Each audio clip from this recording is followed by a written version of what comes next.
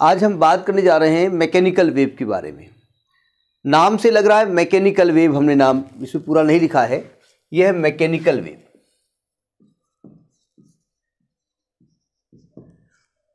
Mechanical wave का मतलब क्या होता है?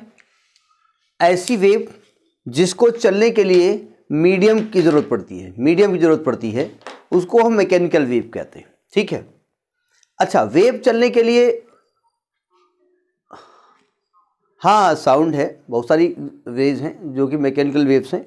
तो मैकेनिकल वेव चलने के लिए हमको मीडियम चाहिए पहली बात। मीडियम भी कैसा हो? पहली चीज़ मीडियम कैसा हो? ज़रा समझिएगा। हमने जब बोला, हमने बोला बोला जो वर्ड बोला, वो उसका नाम है बोला।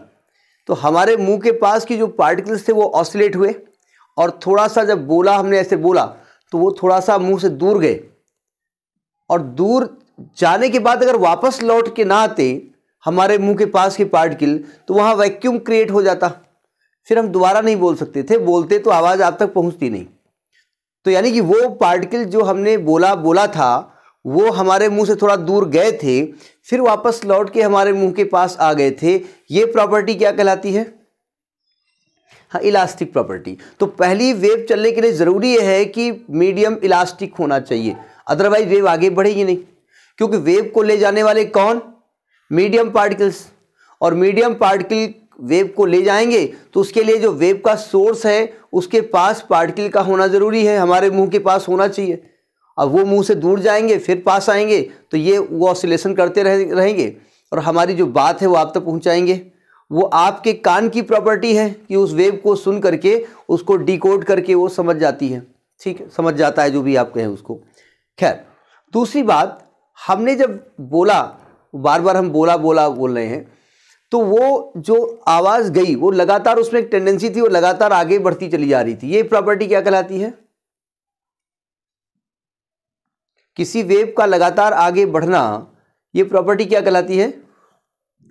इनर्शिया तो यानी कि वेव के चलने के लिए दो प्रॉपर्टी मीडियम में होनी ही चाहिए। एक तो मीडियम इलास्टिक होना चाहिए, उसमें इलास्टिसिटी होनी चाहिए और दूसरी चीज़ मीडियम में इनर्शिया होना चाहिए। क्योंकि इनर्शिया मास पे डिपेंड करता है तो मास होना चाहिए। तो यानी कि दो प्रॉपर्टी हमें मालूम हो गई कि वेव के लिए क्या होनी चाहिए। अब बात करते हैं वेव्स होती क्या है। देखो, वेव्स क्या है। देखिए, अगर आप एक पत्थर का टुकड़ा किसी तालाब में डाल दें तो आप देखते हैं कि तालाब के ऊपर वाले सरफेस में आपको वाटर के रिपल्स दिखाई पड़ेंगे ऐसे ऐसे वेव्स दिखाई पड़ेगी। ठीक है? क्या है ये? क्यों ऐसा हो रहा भाई? एक तो डिस्टरबेंस है हमने पत्थर का टुकड़ा डाला यानी कि पानी को डिस्टर्ब कर दिया और वो डिस्टरबेंस लगातार आगे बढ़ रहा है। हम जब बोल रहे हैं तो हम अपने मुँह के पास या अपने पा, आसपास का जो मीडियम है उसको डिस्टर्ब कर रहे हैं और वो डिस्टरबेंस बिना अपना शेप बदले आप तक पहुँच रहा है। ये यानी कि वेव एक डिस्टरबेंस होता है जो लगातार आगे बढ़ता रहता है। ठीक है? अभी हम बात कर रहे थे कि पानी में हम पत्थर डाल रहे थे। और वेव के चलने के लिए इलास्टिसिटी होनी चाहिए, ज़रा समझिएगा। जब पानी में पत्थर हमने डाला तो जिस जगह पत्थर गिरा, उस जगह गड्ढा हो गया होगा। जब पत्थर अंदर घुसा होगा तो गड्ढा हो गया होगा। हुआ होगा ना? पक्की बात है। प्रैक्टिकली आप सोचिएगा। अब पानी इलास्टिक होता है तो जब हमने वहाँ गड्ढा किया तो पानी ने क्या किया होगा? उसको अपोज किया होगा तो अगल बगल से वाटर आकर के उसको भर रहा होगा। अब स्पीड से आ गया वो गड्ढा भर गया। लेकिन मीडियम में इनर्शिया की प्रॉपर्टी है तो लगातार पानी का फ्लो बढ़ता चला गया और गड्ढा पटने के बाद भी, पूरा बराबर होने के बाद भी थोड़ा सा अगल बगल से वाटर आता गया और आने के बाद वहाँ ज़्यादा वाटर क्रिएट हो गया नहीं लेवल से थोड़ा ऊपर पानी हो गया। फिर इनर्शिया उसको अपोज किया, पानी फिर दूर हुआ, जो दूर हुआ, वही रिपल्स के फॉर्म में आगे बढ़ गया। ये वेव्स होती है। यानी वेव क्या है? वेव इज़ अ डिस्टर्बेंस लिखिए। वेव की डेफिनेशन लिख लीजिएगा कि wave is a disturbance produce in a material medium ज़रूरी उसके लिए कंडीशन क्या है? कि मीडियम होना चाहिए। विदाउट मीडियम वेव आगे नहीं बढ़ सकती है। हाँ मैं मटेरियल वेव की बात कर रहा हूँ मैकेनिकल वेव उसके बारे में। आगे चल के आप पढ़ेंगे इलेक्ट्रोमैग्नेटिक वेव जो विदाउट मीडियम भी आगे बढ़ती वेव लिखिए। वेव इज़ अ डिस्टर्बेंस, वो एक डिस्टर्बेंस होता है। Wave is a disturbance, produce in a material medium produced in a material medium, यानी मीडियम कैसा होना चाहिए? जिसमें मटेरियल हो। हमने भी क्या कहा? इनर्शिया की प्रॉपर्टी हो। इनर्शिया किसमें होती है? मास में होती है। यानी कि मास होना चाहिए। इसलिए हमने वर्ड यूज़ किया material medium. Material medium and advancing with a definite speed and advancing with a definite speed in the medium without changing its form अपना फॉर्म वो चेंज नहीं करती। यानी मैं अगर बोल रहा हूँ तो जिस फॉर्म में हम बोल रहे हैं, वही फॉर्मेट आप तक पहुँचा रही है वो मीडियम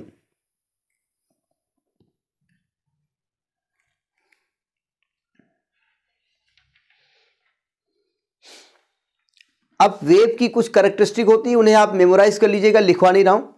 वेब की करेक्टरिस्टिक के लिए पहली बात मीडियम कैसा होना चाहिए? इलास्टिक होना चाहिए। मीडियम में इनर्शिया होना चाहिए। इनर्शिया बोले तो मास होना चाहिए, क्योंकि मास में इनर्शिया होती है। दूसरी बात, जब ये डिस्टर्बेंस क्रिएट होता है तो मीडियम पार्टिकल अपना प्लेस चेंज करके यहाँ से वहाँ नहीं जाते। वे केवल अपनी जगह पर ऑसिलेट करते हैं और अपनी एनर्जी को अपने नेबरिंग पार्टिकल को ट्रांसफ़र करते हैं। यानी वो एनर्जी ट्रांसफ़र करते हैं। They are not suppose to move from one place to other अभी मैं एग्ज़ाम्पल बता रहा हूँ। अब लिखिए टाइप्स ऑफ़ वेव्स वेव्स कितने टाइप की होती हैं? मैकेनिकल वेव की हम बात कर रहे हैं, फिर समझ लीजिएगा types of waves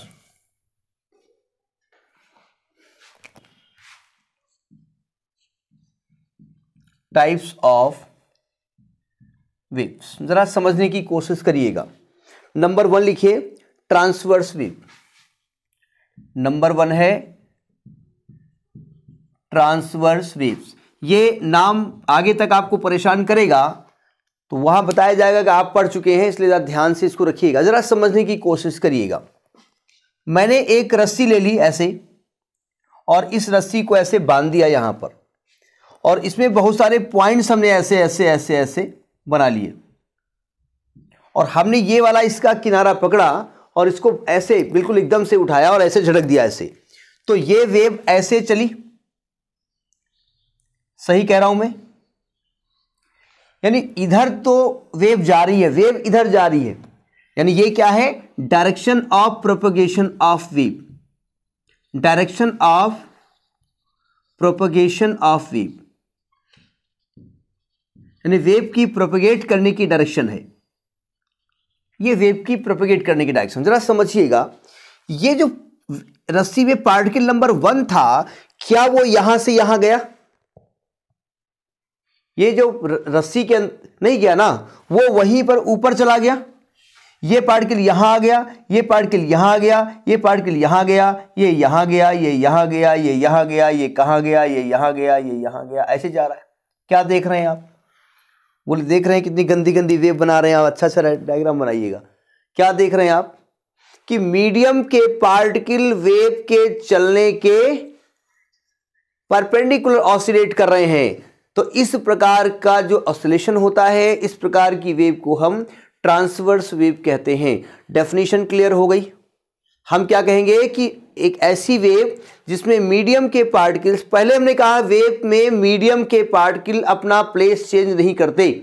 जैसे फॉर एग्ज़ाम्पल अगर आप तालाब में कार्क का टुकड़ा फेंक दें, प्लास्टिक की कोई ढक्कन फेंक दे, और वो किनारे नहीं आएगा, अगर उसको डिस्टर्ब करोगे, पानी को ऐसे थप थप थप करोगे तो वेव ऐसे जाएगी और वहीं पर कार्क का टुकड़ा ऊपर नीचे ऑसिलेट करेगा, किनारे नहीं आएगा वो। यानी मीडियम के पार्टिकल अपनी जगह नहीं चेंज करते, केवल वो डिस्टर्बेंस भेजते हैं। तो ट्रांसवर्स वेब क्या होती है? ऐसी वेब जिसमें मीडियम पार्टिकल वेब के चलने की डायरेक्शन के परपेंडिकुलर ऑसिलेट करते हैं। समझ में आई बात? लिखिए। Transverse waves are the waves in which in which the medium particles, the medium particles oscillate the medium particles oscillate oscillate करते हैं oscillate along the direction along the direction कौन सी डायरेक्शन में? Perpendicular perpendicular to the direction of propagation of wave along the direction perpendicular to the direction of propagation of wave. Wave आगे propagate कर रही है, आगे वेव चल रही है, और ये जो पार्टिकल है वो अपनी जगह के परपेंडिकुलर ऑसिलेट कर रहे हैं। तो this type of wave is known as transverse wave इसको ट्रांसवर्स वेव कहते हैं। ठीक है? अब जरा थोड़ा और इसमें समझिएगा। दोबारा मैं इस डायग्राम को बना देता हूँ। कुछ लिखना है हमको। देखिए एक्चुअली में ये तो मैं रस्सी का एग्ज़ाम्पल ले रहा हूँ। ये एक्चुअली हुआ क्यों होगा ऐसा? जरा समझने की कोशिश करिएगा।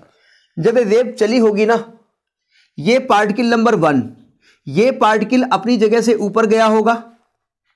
चूँकि ये इलास्टिक प्रॉपर्टी इसमें होती है तो ये बगल वाले पार्टिकल को भी अपनी ओर खींचता है। बगल वाले पार्टिकल को भी इसने खींचा होगा। ये यहाँ गया होगा, बगल वाला यहाँ गया होगा। थोड़ा कम जाएगा, इस प्रकार से गया होगा। ठीक है? इसके बाद इस वेब की जो प्रॉपर्टी जो एनर्जी है, खत्म हो गई होगी। ये नीचे आ गया होगा, ठीक है? इस प्रकार से वेव लगातार कुछ पार्टिकल नीचे गए होंगे तो इस प्रकार से वेव चल रही होगी। हमें उसको एक्सप्लेन नहीं करना है, समझने के लिए मैं बता रहा हूँ, ठीक है? रस्सी का तो मैं केवल एग्ज़ाम्पल ले रहा हूँ। देखिए ध्यान से। तो ये वेव चल रही है। ये direction of propagation of wave है और ये वेव आपकी चल रही है। थोड़ा सा डायग्राम अपने हिसाब बना लीजिएगा। थोड़ा सा डायग्राम ठीक ही ठाक बन रहा है। अब देखो इस वेव में अपवर्ड डायरेक्शन के मैक्सिमम जो डिस्प्लेसमेंट होता है, उसको हम क्रस्ट कहते हैं। क्या कहते हैं? क्रस्ट कहा जाता है और डाउनवर्ड डायरेक्शन के मैक्सिमम डिस्प्लेसमेंट को ट्रफ कहते हैं। ठीक है? तो जरा पैराग्राफ चेंज करके लिखिए। पैराग्राफ चेंज करके लिखिए। The maximum displacement the maximum displacement in the upward direction is called crest the position of maximum displacement थोड़ा बढ़ा दीजिएगा the position of maximum displacement the position of maximum displacement in the upward direction is called crest crest कहते हैं and the position of maximum displacement in the downward direction is called trough T R O U G H is called trough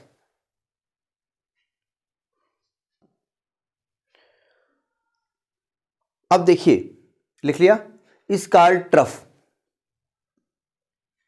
अब जरा समझिएगा, तीन तरीके समझिएगा। यहाँ से अगर मैं मानू वेव चल रही है तो ये वेव गई और फिर उसी पोजीशन में आ गई। जहाँ से वेव चलती है, लौट के उसी पोजीशन में लौट आए तो मैं कहता हूँ कि उसने एक ऑसिलेशन कवर कर लिया, कह सकता हूँ ना? जहाँ से चली। हमने यहाँ से चलाया था क्रस्ट से और फिर क्रस्ट में आ गए। तो एक ऑसलेशन कंप्लीट हो गया। खैर, हमने कहा वेव यहाँ से चली और ये कंप्लीट होकर के फिर यहाँ पहुँच गई। ट्रफ से गई लौट के ट्रफ में आ गई तो एक ऑसलेशन कंप्लीट हो गया। तीसरी बात, हमने कहा वेव यहाँ से गई और ये लौट के यहाँ गई, एक ऑसिलेशन हो गया। तो दो लगातार क्रस्ट या दो लगातार ट्रफ के बीच की दूरी को हम वेवलेंथ कहते हैं, क्योंकि वेवलेंथ आप जानते हैं वेवलेंथ क्या होती है? The distance travelled by the wave in one oscillation एक ऑसिलेशन करने में जो डिस्टेंस वो कवर करती है आगे की डायरेक्शन में, उसको वेवलेंथ कहते हैं। नाम सुना है आपने वेवलेंथ का? तो आप क्या कहेंगे? The distance between two successive crest लिखिए। The distance between two successive crest और two successive trough is known as wavelength of the light of the wave light ने कहिए ठीक है? एक बात और ट्रांसवर्स वेव चलने के लिए ज़रूरी है मीडियम इलास्टिक तो होना चाहिए, ठीक है? लेकिन उसमें रेजिडिटी होनी चाहिए। आपको इलास्टिसिटी पढ़ाई गई है। मतलब पार्टिकल एक जगह से दूसरी जगह पर ट्रांसफ़र करें तो ना तो उसका वॉल्यूम चेंज हो, ना उसका लेंथ चेंज हो, वो केवल अपनी पोजीशन से हटे और लौट के वहीं पर आ जाए। तो यानी किसी भी सॉलिड में केवल ट्रांसवर्स वेव प्रोड्यूस की जा सकती है। गैस में नहीं हो सकती है, गैस में ऐसा नेचर नहीं होता है और लिक्विड में हो सकती है केवल अपर सरफेस में, अंदर नहीं हो सकती है। तो पैराग्राफ चेंज करके या नोट करके लिख लीजिएगा, एक नोटिंग लगा दीजिएगा, transverse wave can be produced, transverse wave can be produced only in solids, only in solids. Which have rigidity rigidity पढ़ी है ना आपने? इलास्टिसिटी पढ़ाई गई आपको। रिजिडिटी पढ़ी है आपने इलास्टिसिटी में? क्या होती है उसमें? ऐसा फोर्स किसी बॉडी में लगा दिया जाए, जैसे हम खड़े हैं, अपने आप को बॉडी मान लें, और हमारे पैर को फिक्स कर दो, और ऊपर से आप फोर्स लगाओ, और हम ऐसे घूमें, और फिर अपनी पोजिशन पे आ जाएँ। ठीक है? तो इस प्रकार का जो पोजीशन होती है, जिसमें केवल बॉडी की पोजीशन चेंज हो गई और फोर्स हटने के बाद बॉडी फिर अपनी पोजीशन में आ गई, वो रिजिडिटी होती है। तो ये, यानी ये केवल सॉलिड्स में होती है, जिसमें रिजिडिटी होती है। ठीक है? And they can be produce only on the upper surface of liquid on the surface of liquid liquid के सरफेस से प्रोड्यूस होती है, क्योंकि लिक्विड के सरफेस के अंदर ऐसा होता है। अंदर नहीं होगा, अंदर वॉल्यूम चेंज हो जाता है। देखिए जरा। अगर आप लिक्विड के अंदर जाओगे तो वॉल्यूम चेंज हो जाएगा। ऊपर का लिक्विड दबाएगा और नीचे के मॉलिक्यूल थोड़े बहुत दब दब सकते हैं। नहीं दबेंगे, बताइए प्रैक्टिकली समझिएगा। अगर लिक्विड के अंदर जाओगे तो सिंपल सी बात है, ऊपर का प्रेशर क्या करेगा? नीचे के लिक्विड को दबा रहा होगा। तो नीचे कुछ लिक्विड दब रहे होंगे ना? और जब दबते हैं तो क्या चेंज होता है? वॉल्यूम चेंज होता है। और आपसे कहा जा रहा है कि वॉल्यूम नहीं चेंज होना चाहिए। इसलिए लिक्विड के अपर सरफेस में तो ये प्रोड्यूस हो जाती हैं। इस प्रकार की वेव्स लेकिन लोअर सरफेस में नहीं होती हैं। तो अगर आपसे कहा जाए कि ट्रांसवर्स वेव कहाँ कहाँ प्रोड्यूस होती हैं तो आप कहेंगे सॉलिड्स में कहाँ, जहाँ पर रिजिडिटी होती है। जैसे, अगर मम्मी रोटी बना रही है और गीला आटा है और सॉलिड है टाइप का, वो उसमें नहीं होंगी, क्योंकि उसको जब दबाओगे तो वॉल्यूम उसका चेंज हो जाएगा। ठीक है? अब लिखिए लॉन्गिट्यूडनल वेव लॉन्गिट्यूडनल वेव दूसरे टाइप की वेव होती है उनका नाम है लॉन्गिट्यूडनल वेव जैसे आप एक स्प्रिंग ले लीजिएगा और स्प्रिंग को ऐसे खींच के ऑसिलेट कराइए, तब तक ऑसिलेट कराइए, हम लिखते हैं पहले लॉन्गिट्यूडिनल वेव जरा समझिएगा। अगर आप एक स्प्रिंग ले लीजिएगा और स्प्रिंग को ऐसे खींचिएगा और छोड़ दीजिएगा तो स्प्रिंग ऐसे ऐसे ऑसिलेट करेगी। ये स्प्रिंग है वेव ऐसे जा रही है, ऐसे जा रही है, और इसके जो स्प्रिंग के छल्ले हैं, वो भी ऐसे ऐसे ऑसिलेट कर रहे हैं। तो क्या आप देख रहे हो? क्या हम देख रहे हैं स्प्रिंग नहीं है? पेन में आप स्प्रिंग बना रहे हो, झूठ बोलते हो। क्या आपने इसमें देखा कि वेव के चलने की डायरेक्शन में मीडियम पार्ट की ऑसिलेट कर रहे हैं? ऐसी वेव को हम क्या कहते हैं? लॉन्गिट्यूडनल वेव तो लिखिएगा। Longitudinal waves are the waves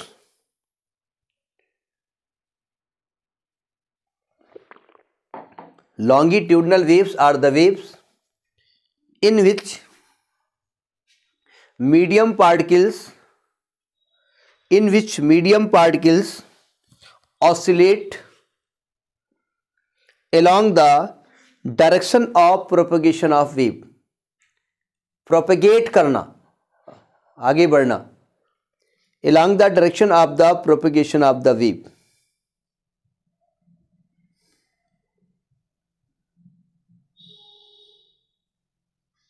अब जरा समझिएगा। जब लॉन्गिट्यूडल वेव चलती है तो एक्शन क्या होता है? हम स्प्रिंग का एग्ज़ाम्पल ले रहे हैं। अभी मैं उसको बाद में समझाता हूँ। देखिए, ये स्प्रिंग में जब हम वेव चलाएँगे तो हमने प्रैक्टिकली देखा कहीं कहीं स्प्रिंग के जो टर्न्स होते नज़दीक होते हैं और कहीं कहीं दूर होते हैं। कहीं कहीं नज़दीक होते हैं कहीं कहीं दूर होते हैं। कहीं कहीं नज़दीक होते हैं कहीं कहीं दूर होते हैं। मैं स्प्रिंग का एग्ज़ाम्पल ले रहा हूँ। मीडियम में भी मैं समझाता हूँ। तो जहाँ पर मीडियम पार्टिकल नज़दीक होते हैं, उनको हम कहते हैं कंप्रेशन। कंप्रेस हो गए। कंप्रेशन। और जहाँ दूर होते हैं, उसको कहते हैं रेयरफेक्शन ये फ़ैशन नहीं है रेयरफेक्शन यानी ये कंप्रेशन हो रहा है, यहाँ भी कंप्रेशन हो रहा है, यहाँ भी कंप्रेशन है। ये भी रेयरफेक्शन है। ठीक है? तो आप क्या कहेंगे कि जब लॉन्गिट्यूडल वेव चलती है तो जहाँ जहाँ मीडियम पार्टिकल थोड़ा सा नज़दीक हो जाते हैं क्लोज हो जाते हैं, उनको हम कहते हैं कंप्रेशन उस पोजीशन को, और जहाँ मीडियम पार्टिकल दूर हो जाते हैं, उसको रेयर रेयरफेक्शन कहते हैं। जरा पैराग्राफ चेंज करके लिखिएगा। The place where the medium particles are close to each other the place where the medium particles are close to each other are set to be the state of compression are set to be in the state of the place where the medium particles are close to each other वो बहुत नज़दीक होते हैं are said to be in the state of compression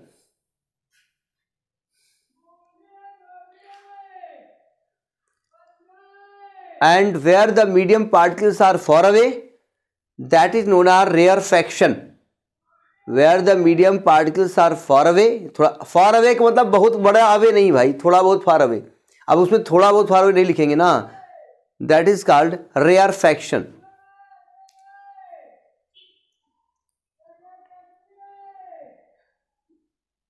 the paragraph change करके लिखिएगा. The distance between two successive compression और successive rarefaction is called wavelength the distance between two successive compression और rarefaction is called wavelength. इस diagram को बना लीजिएगा, फिर मैं समझाता हूँ तो एक्चुअली में एक्शन क्या होता है, ये रेयर फैक्शन और कंप्रेशन बनने में एक्शन क्या हो रहा है। इसको नोट करिए, बना लीजिएगा। फिर हम बताते हैं कि हाँ एक्शन क्या हो रहा होगा।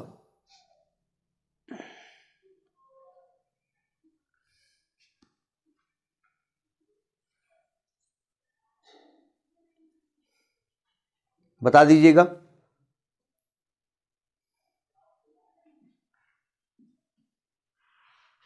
स्कोर अप कर दें। जरा समझिएगा इसमें एक्शन क्या हो रहा था। देखिए, हम एक एग्ज़ाम्पल लेते हैं, साउंड जो होती है वो लॉन्गिट्यूडनल होती है, ठीक है? हम बोल रहे हैं, अभी नहीं बोल रहे हैं, अभी चुप हैं। तो हमारे और आपके बीच की जो एयर है, वो अपने नॉर्मल स्टेट में है। यानी कि यहाँ से यहाँ तक थोड़ी दूर तक हमारी आवाज़ जानी है और जो एयर मॉलिक्यूल हैं, वो नॉर्मल दूरी पे हैं सब। यूँ कहिए इक्विलिब्रियम में है, ना ज़्यादा दूर, ना पास। जो भी उसके बीच की दूरी इंटरमालिकुलर रेंज हो सकती है, उसमें ही आप जानते हैं इंटरमालिकुलर अगर दूरी कम करोगे तो इसको अपोज करेंगे। और दूर करोगे तो भी इसको अपोज करेंगे, यही तो होता है ना? अब देखिएगा, हमने यहाँ से एकदम से कुछ चीज़ बोला, हमने कहा, हो, डरिएगा नहीं ऐसे बोला।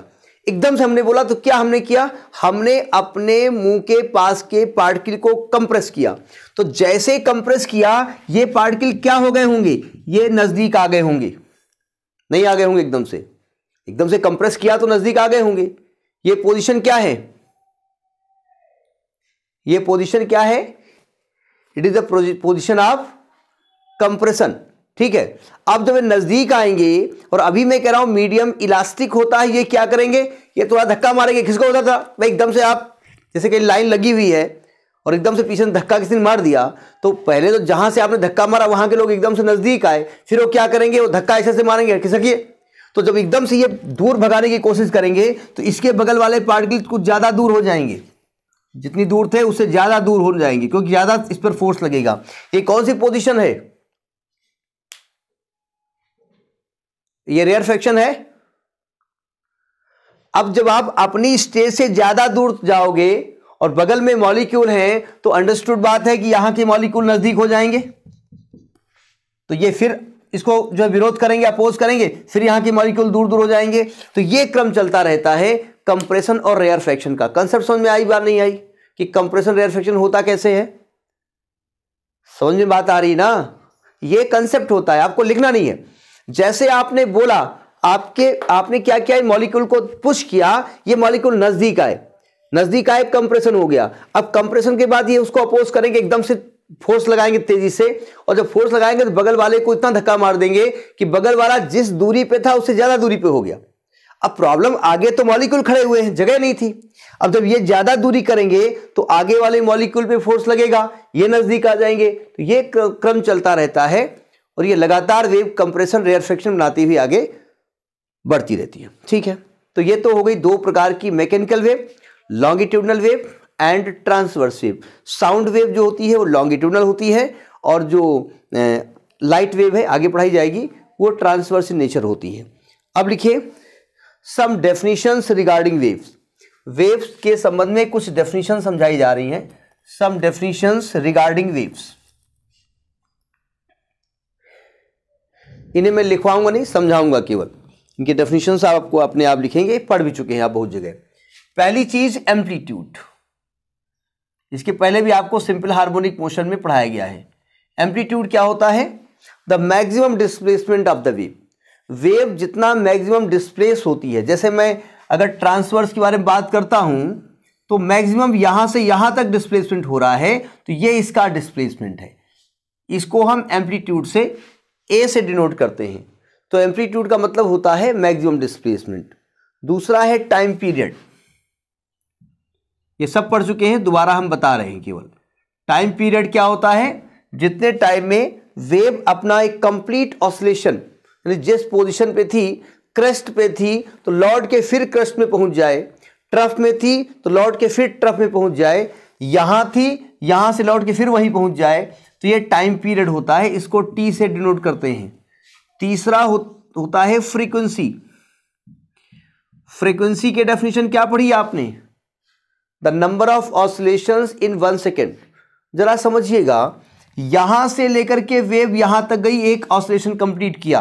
कितने सेकंड लगे? T second.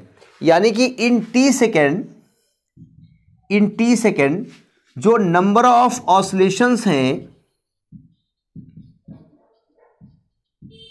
वो वन है। और इन वन सेकेंड, अगर मैं कहूँ वन सेकेंड में कितने होंगे तो जो यूनिटरी मेथड होगा वन अपॉइंट टी होगा।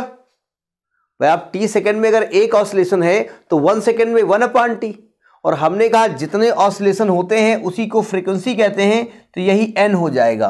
तो frequency n is equal to one upon T होता है। ये हमने इसलिए बताया कि आपको मालूम होना चाहिए, होता कहाँ से है इसके बाद अगला है फ़ेज़ हमने पीछे भी बताया था फ़ेज़ वो है जो वेव की पोजीशन को बताता है वेव के बारे में पूरा डिस्क्रिप्शन बताता है, ठीक है? और अगला है वेवलेंथ अभी हम बता चुके हैं wavelength the distance travelled by the by the wave in one complete oscillation one complete oscillation का मतलब यह होता है कि जिस पोजीशन में वेव थी, उसी पोजीशन तक जाने में। क्रेस्ट से क्रेस्ट से ट्रफ से ट्रफ तक रेयर फैक्शन से रेयर फैक्शन तक कंप्रेशन से कंप्रेशन तक। इसको वेवलेंथ कहते हैं, इसको लैम्डा से डिनोट करते हैं। यहाँ हम अगर कहें तो यहाँ से लेकर के यहाँ तक की जो डिस्टेंस है, उसे हम वेवलेंथ कहते हैं। और अगला है वेव स्पीड वेव स्पीड इसको वी से करेंगे, जो स्पीड की डेफिनेशन होती है कि distance travelled in one second तो उसमें वेव और लगा दीजिए। The distance travelled by wave in one second is wave speed. तो ये डेफिनेशन समझ में आ गई क्या क्या होती हैं? अब लिखिए।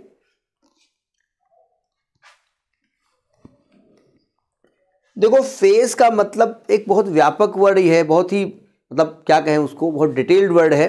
यानी किसी भी टाइम जो वेव की पोजीशन को बताए वेव किस पोजीशन में है, उसकी स्पीड क्या, सब कुछ जो बताए फ़ेज़ होता है। ठीक है? तो इसका जो इक्वेशन आपने डिस्प्लेसमेंट पढ़ाया ना ए साइन ओमेगा टी तो ओमेगा टी में फाइव और प्लस कर देते हैं, ये फ़ेज़ कहलाता है यहाँ पर, ठीक है?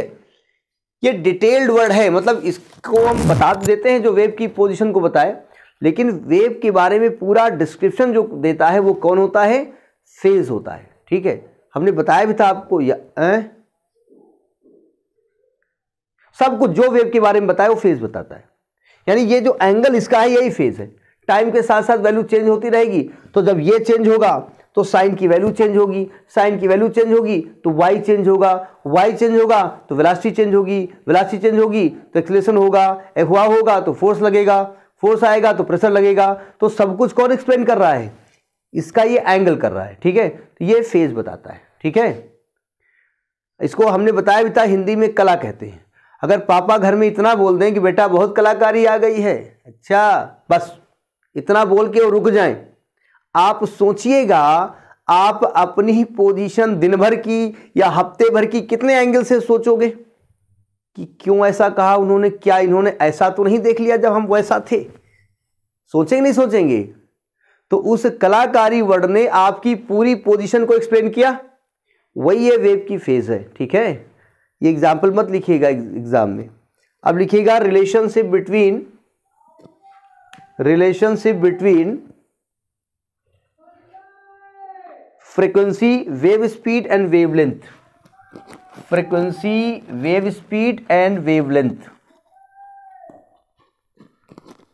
relationship between frequency wavelength and wave speed frequency बोले तो एफ़ वेव स्पीड बोले तो वी और वेवलेंथ बोले तो लैम्डा इनमें रिलेशन निकालने हम जा रहे हैं।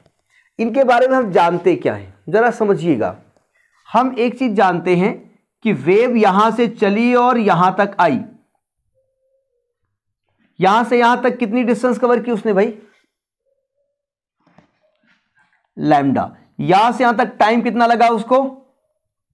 टी सेकेंड यानी कि अच्छा वेव स्पीड क्या होती है?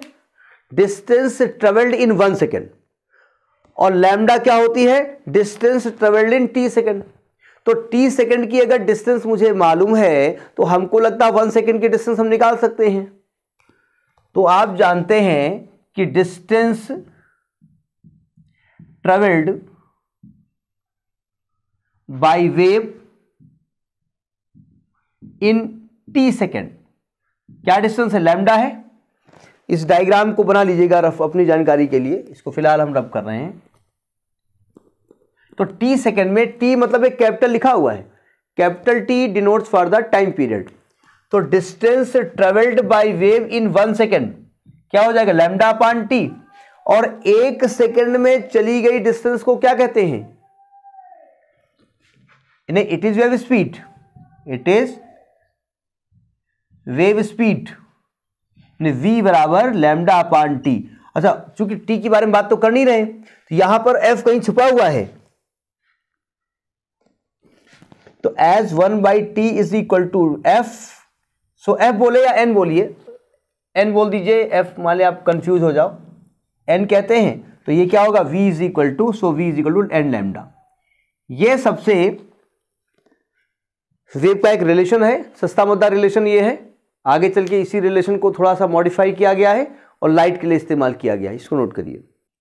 लिखे speed of waves speed of waves बहुत सारी वेव्स के फार्मूले हैं इन्हें आपको याद करने हैं, फार्मूले अप्लाई करने के लिए। Speed of waves. देखिए, ये नंबर ना डालिए। वन लिखिए, स्पीड ऑफ़ ट्रांसवर्स वेव। पहला है, स्पीड ऑफ़ ट्रांसवर्स वेव। अभी हमने बताया था कि ट्रांसवर्स वेव होती क्या है? जिसमें मीडियम पार्टिकल वेव के चलने के परपेंडिकुलरली ऑसिलेट करते वेव ऐसे जा रही थी और मीडियम पार्टिकल ऐसे ऑसिलेट कर रहे थे, है ना? यही हमने बताया ना। ट्रांसवर्स वेव कहाँ कहाँ चलती हैं? हमने कहा मीडियम में रिजिडिटी होनी चाहिए, यानी ट्रांसवर्स वेव मीडियम की रिजिडिटी पर डिपेंड करती है। यानी मीडियम जितना ज़्यादा रिजिडिटी है बड़ा अजीब लग रहा होगा वर्ड उतनी स्पीड से ट्रांसवर्स वेव चलेगी। मतलब क्या हुआ? रिजिडिटी का मतलब क्या होता है? आप किसी पार्टिकल की पोजीशन चेंज करते हो, ऐसे चेंज किया, आपने आपने फोर्स हटाया और पार्टिकल धीरे धीरे धीरे धीरे यहाँ आ गया। और एक होता हटाया, यहाँ आ गया। हटाया है यहाँ, लो, हटा गया।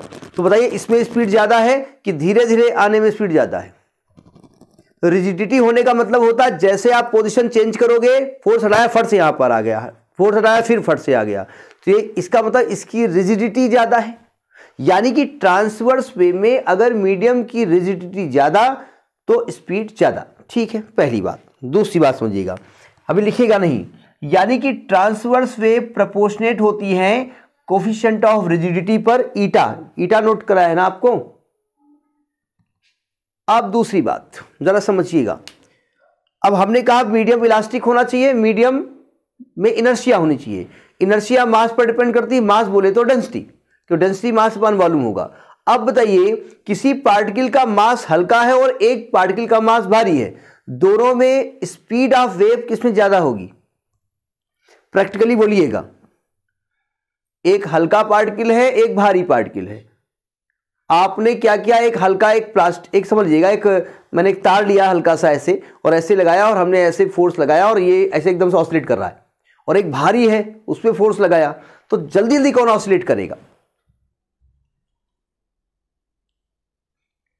भाई, भारी में दिक्कत हो जाएगी। तो यानी कि जो वेव होगी, वो इसकी डेंसिटी के इनवर्सली प्रोपोर्शनल होता है। ठीक है? तो फार्मूला क्या दिया गया? V is equal to v is equal to under root eta upon D so कैसे दिखाया गया? जरा समझिएगा। एक सेकंड लिखेगा नहीं। हमने कहा v प्रोपोर्शनेट ईटा और v proportionate D v proportionate one upon D ऐसा बोला ना हमने? आपको याद होगा डायमेंशन पढ़ाई गई आपको। हमने पढ़ाई थी। होता क्या है कि आप कह रहे हो ईटा पर डिपेंड करता है। कैसे करता है भाई? ईटा दो गुना हो गया वेलासिटी चार गुना हो सकती है। तो हम इसकी पावर ए लिखेंगे, इसकी पावर बी लिखेंगे और V proportionate eta to power A upon D to power B करके डायमेंशन लिखेंगे और डायमेंशन से ए और बी की वैल्यू निकालेंगे ए और बी की। यही तरीका था ना? तो ये फॉर्मूला डायरेक्ट आएगा। तो v is equal to under eta upon D जहाँ ईटा क्या है? रिजिडिटी ऑफ़ द मीडियम और डी क्या है? डेंसिटी ऑफ़ द मीडियम तो लिखिएगा where eta is the coefficient of rigidity of the material of the solid क्योंकि solid में चल रही है ना eta is the modulus of rigidity of the material of the solid and D is the density D is the density अगर मैं यहाँ dimension लिखता हूँ ईटा और डी की, और इसको सॉल्व करता हूँ इसकी डायमेंशन वही आएगी जो वेलासिटी की डायमेंशन होती है। आपने डायमेंशन पढ़ी होगी, आप यहाँ रख करके चेक कर लीजिएगा, वही मिलेगी। तो ये तो हो गया स्पीड ऑफ़ ट्रांसवर्स वेव कहाँ पर? इन द मटेरियल मीडियम अगला लिखिए next formula speed of transverse wave in stressed string speed of transverse wave ये तो हेडिंग ऐसे पड़ी।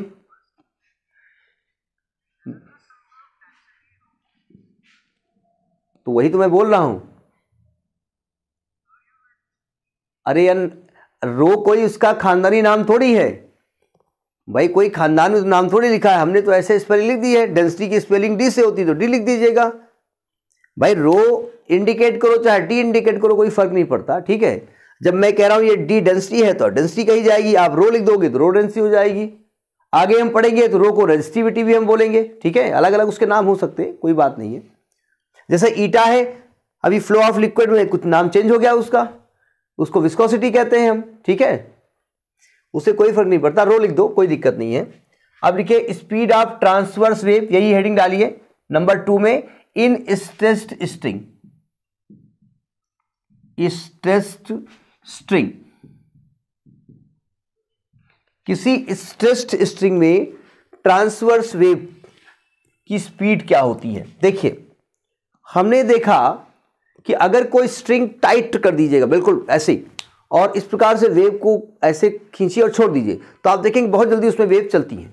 यानी उस स्ट्रिंग में जितना ज़्यादा टेंशन होगा, उतना ज़्यादा उसमें स्पीड होगी, ठीक है? और दूसरी चीज़, उस स्ट्रिंग का जितना मास होगा, मास पर यूनिट लेंथ, उतना ही वेव धीरे चलेगी। तो v इज़ इक्वल टू होता है under root T by M ये डायरेक्ट डायमेंशन मेथड से लिखे जा सकते हैं। ये फॉर्मूला होता है v is equal to under root T upon M ये फॉर्मूला याद करिएगा डायमेंशन में भी इस्तेमाल होते हैं। Where T is the tension of the string T is the tension tension मतलब जितना आप उसको टाइट करके बाँध रहे हैं, वो फोर्स टेंशन ऑफ़ स्ट्रिंग और एम जो है, वो कहलाता है mass per unit length per unit length मतलब this mass is not the mass of whole string ये पूरी जो स्ट्रिंग है, उस पूरे का मास नहीं है। अगर मैं आपसे कह रहा हूँ कि फाइव मीटर लंबी एक स्ट्रिंग है और इसका जो मास है वो टेन के जी है तो एम की जगह क्या इस्तेमाल करेंगे आप? Ten K G one metre length की वैल्यू निकालेंगे मतलब टेन बाई फाइव। तो ये टू के जी आप इस्तेमाल करेंगे, ठीक है? समझा रही बात जो हम बोल रहे हैं। दूसरी बात, अगर मैं इस एम की डायमेंशन लिखना चाहूँ तो what will be the dimension of M here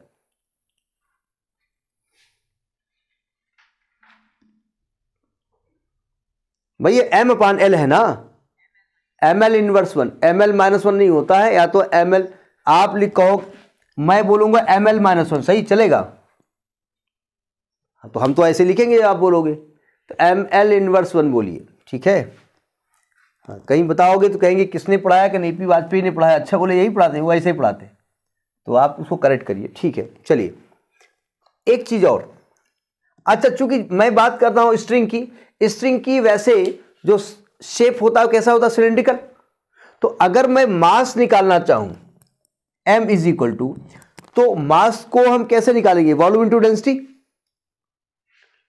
ठीक है? तो अब बताइए वॉल्यूम सिलेंडर का वॉल्यूम क्या होता है? पाई आर स्क्वायर एच तो आ, क्या बताया? हाँ वॉल्यूम का फॉर्मूला बेस इंटू हाइट होता है। एरिया बेस हाँ एरिया साइलेंट है। इंग्लिश में कभी कभी कुछ साइलेंट हो जाती है। एरिया बेस इंटू हाइट तो देखो एरिया तो हो गई पाई आर स्क्वायर और यहाँ हाइट यानी लेंथ क्या ली जाएगी?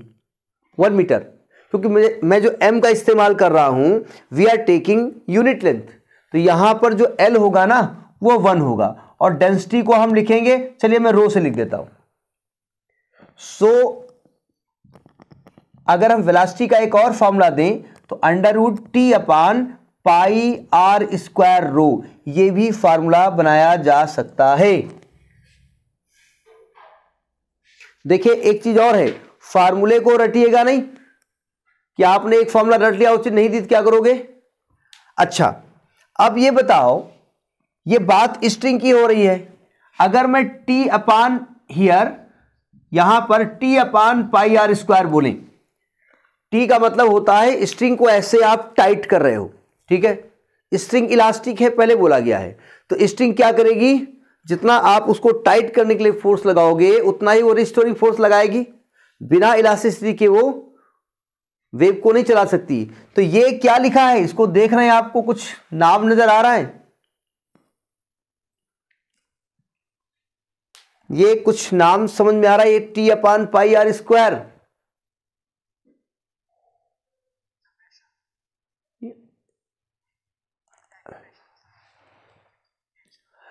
देखो प्रेशर सही कह रहे हो आप लेकिन वो थोड़ा सा लिक्विड में ठीक रहता है उसका नाम। आ, उसका गैसेस में ठीक रहता है कि स्ट्रिंग को जब आप टाइट कर रहे हो तो फोर्स अपान एरिया क्या होता है?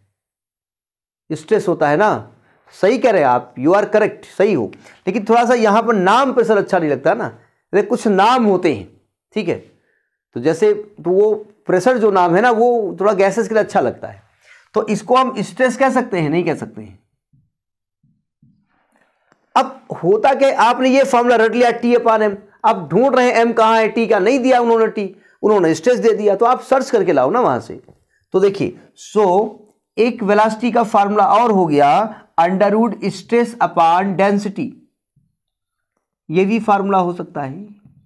ये स्ट्रेस स्ट्रिंग के लिए सब चल रहे तो ये कई कोई फार्मूला इसमें हो सकता है। तो ये तो हो गया speed of longitudinal sorry transverse wave कहाँ कहाँ हमने बताया? एक तो बताया हमने स्ट्रेस स्ट्रिंग में, और उसके पहले कहाँ बताया? किसी भी सॉलिड में, ठीक है? अब लिखिए, speed of longitudinal wave. Longitudinal wave बोले तो sound wave is a simplest example speed of longitudinal wave. ये फार्मूले कृपया याद कर लीजिएगा। ये बिल्कुल टिप पे होनी चाहिए आपकी। बस हाँ जी। आवाज़ नहीं समझ आ रही है? स्पीड ऑफ़ लॉन्गिट्यूडनल वेव ये नोट कर लिया था ना? ठीक, कोई आवाज़ आ रही थी ना, हम उसको समझ नहीं पा रहे थे क्या बोला जा रहा है। लॉन्गिट्यूडनल वेव क्या होती है? जिसमें मीडियम पार्टिकल वेव के चलने के parallel along the particle along the wave वो ऑसिलेट करते हैं। Simple example is sound sound is a longitudinal wave sound medium particle में चलती है, ये आप घर में एक्सपेरिमेंट कर सकते हैं। एक्सपेरिमेंट करने का तरीका क्या होता है? आप एक माचिस ले लीजिएगा, वो मैंने ऐसे रखा है, खाली नहीं खाली नहीं, दो हैं। ऐसी माचिस का डिब्बी ले लीजिएगा। वैसे चूँकि ऐसे एक्सपेरिमेंट लड़के अब करते नहीं है ना, वो तो गूगल सर्च करते हैं तो गूगल ना करिएगा। ऐसा ले लीजिएगा, ले लिया, एक और ले लीजिएगा, और इसमें छेद कर लीजिएगा, और छेद करके ये माचिस की तीली में फंसा करके एक धागा बाँध दीजिएगा। जिससे निकले ना, दोनों में, ठीक है? और इसको दूर ले जाइएगा और एक लोग हलो बोलना तेज ना हलो पता वहाँ से अपने आप आवाज़ जा रही है। धीरे से हलो हलो बोलिएगा तो उस धागे के माध्यम से वो साउंड जाएगी, सामने वाले को सुनाई पड़ेगा। सुनाई पड़ेगा, पक्की बात है। शर्त क्या है? धागा थोड़ा टाइट कर दीजिएगा, ठीक है? तो यानी ये मीडियम पार्टिकल में वो जो साउंड होती है वो जाएगी, ठीक है? ये एक्सपेरिमेंट करके आप देख लीजिएगा। ऐसा आजकल बच्चे करते नहीं है करा क्या जाए? अब लिखिए इन सॉलिड्स। लिखिए speed of longitudinal wave. Speed of longitudinal wave. Longitudinal wave. कहाँ कहाँ? नंबर एक लिखिए इन सॉलिड्स। अब मैं अगर सॉलिड की बात करूँगा, और हमने भी कहा वेव के चलने के लिए इलास्टिसिटी चाहिए तो सॉलिड में इलास्टिसिटी कौन सी आती है? Young's modulus. तो v is equal to sorry v is equal to under root Y by D D I density है। Y by D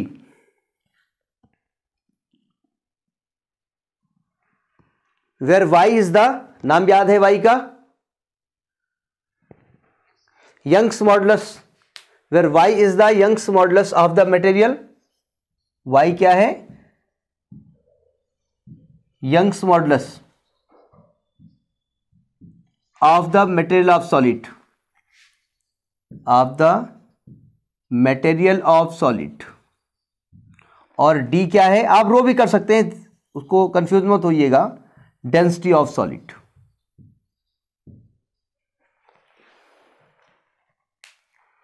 अब देखिए, इसके लिए आयरन लिया गया। और आयरन की यंग्स मॉडल्स की वैल्यू ली गई। और उसकी डेंसिटी ली गई। और इसमें देखा गया तो स्पीड तकरीबन 5096 आई। ये एक्सपेरिमेंट करके देखा गया। और रियल में स्पीड 5130 होती है तो लगभग लगभग बराबर थी, इसलिए इस फॉर्मूले को करेक्ट माना गया है। तो ये हो गया सॉलिड में लॉन्गिट्यूडनल वेव कैसे चलती है। टू लिखिए इन लिक्विड लिक्विड भी कैसे चलती? In liquid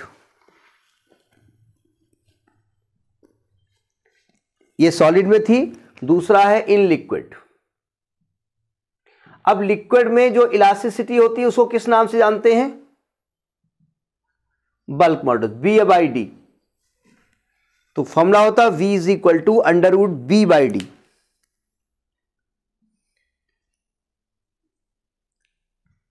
where B is the bulk modulus जो बी है, उसको बल्क मॉडलस कहते हैं। Bulk modulus of the material of the material of the medium और डी जैसा कि नोन है, ये लिखा हुआ है। डेंसिटी ऑफ़ लिक्विड लिखिएगा। यहाँ लिखे दे रहे नहीं कंफ्यूज हो जाओगे। डेंसिटी ऑफ़ लिक्विड यहाँ भी एक्सपेरिमेंट किया गया और वो सही पाया गया। ये लिक्विड लिया गया और लिक्विड में उसकी वाटर लिया गया। वाटर की डेंसिटी रखी गई। वाटर का बी रखा गया और जो स्पीड निकल के आई, तकरीबन तकरीबन निकल के आई थी वो वन फोर फाइव ज़ीरो। इससे कैलकुलेशन से आई वन फोर वन फोर और होती है वन फोर फाइव ज़ीरो। लगभग इक्वल था, इसलिए इसको सही मान लिया गया। ठीक है? अब बहुत बहुत बहुत इंपॉर्टेंट फॉर्मूला लिखिएगा। स्पीड ऑफ़ लॉन्गिट्यूडनल वेव समझ में आ रही जो हम बात बोल रहे हैं? ये फार्मूले भी याद करने हैं, ठीक है? Speed of longitudinal wave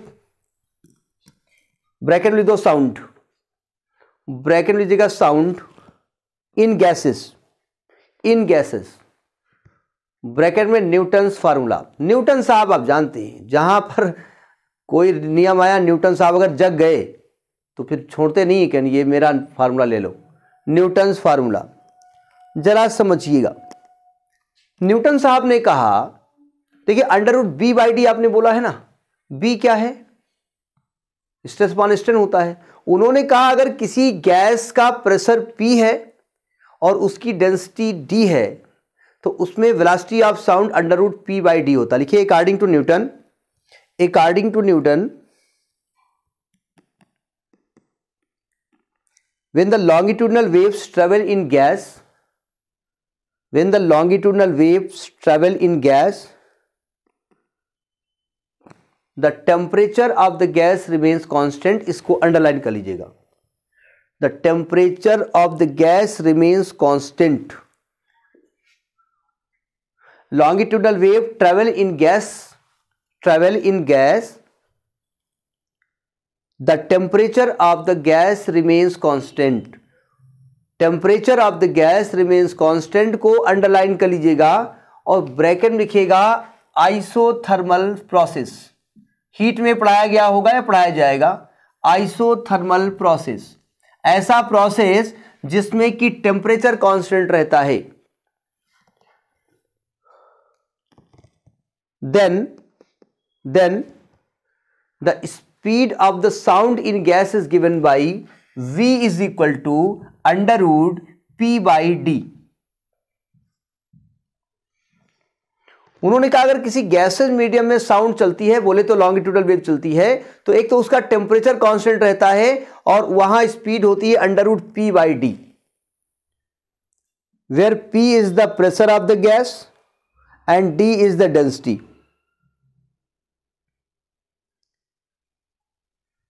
अब देखिए, हमने इनको कैलकुलेट किया, ठीक है? We know that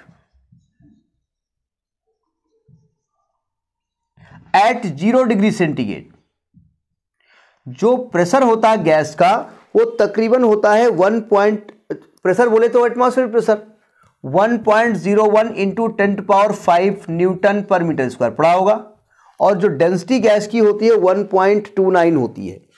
one point two nine K G per metre cube ये तो होता है यूनिट सो so, जब मैंने यहाँ v कैलकुलेट किया यहाँ पर अंडर रूट हमने मतलब न्यूटन ने कैलकुलेट किया तो 1.01 point zero one into ten power five upon one point two nine. और इसको जब कैलकुलेट करके वैल्यू निकाली उन्होंने तो ये 280 मीटर पर सेकेंड थी। ये न्यूटन ने कैलकुलेट किया। और उन्होंने कहा it is the speed of sound in gas medium at zero degree centigrade temperature change हो जाएगा तो गैस की, जो साउंड की स्पीड चेंज हो जाएगी। ठीक है? अब प्रॉब्लम वैल्यू तो दे दी, लेकिन जब एक्सपेरिमेंट करके निकाला गया तो यह स्पीड तकरीबन 330 के आसपास आ रही थी।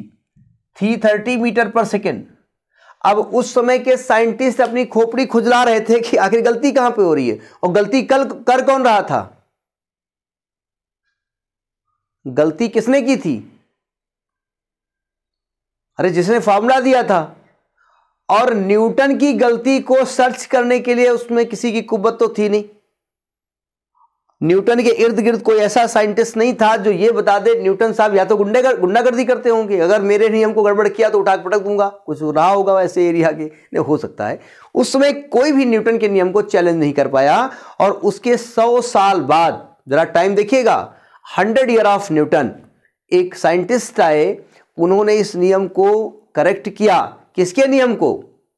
न्यूटन के नियम को करेक्ट किया, इसलिए वो बहुत बड़ा नाम हो गया, लिखिए लाप्लास करेक्शन क्योंकि करेक्ट किया न्यूटन को उन्होंने लाप्लास करेक्शन